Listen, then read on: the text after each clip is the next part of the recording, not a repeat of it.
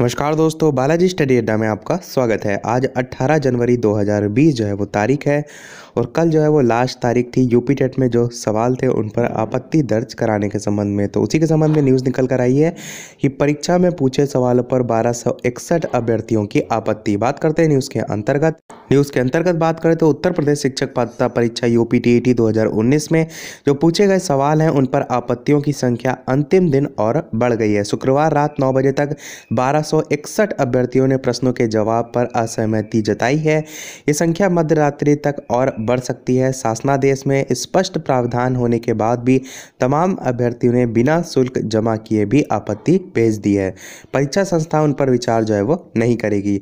परीक्षा नियामक प्राधिकारी कार्यालय के अनुसार 14 जनवरी को मध्यान्ह से यूपी के प्रश्नों पर आपत्ति लेने की प्रक्रिया जो है वो शुरू हुई है। शुक्रवार रात नौ बजे तक प्राथमिक स्तर की परीक्षा के लिए कुल 1105 आपत्तियाँ मिली हैं। उनमें से 767 लोगों ने ही शुल्क जो है वो जमा किया है। ऐसे ही उच्च प्राथमिक स्तर की परीक्षा में जो पूछे गए प्रश्न हैं, उन पर 156 आपत्तियाँ जो हैं, कुल मिली हैं। उनमें से निन्यानवे लोगों ने जो है, वो शुल्क भी जो है, वो जमा किया है। कुल बारह आपत्तियों में से 866 ही जो है, वो मान्य जबकि 395 शुल्क जमा ना होने के कारण खारिज हो जाएँगी।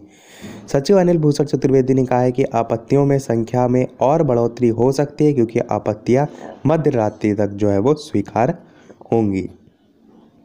तो यही था हमारी आज की न्यूज़ में। तो आज के वीडियो में इतना ही। वीडियो पसंद आया लाइक ज़रूर कीजिएगा। नए चैनल पर सब्सक्राइब ज़रूर कीजिएगा। मिलते हैं अगले वीडियो में एक नए टॉपिक के साथ। तब तक के लिए नमस्कार। Thank you for watching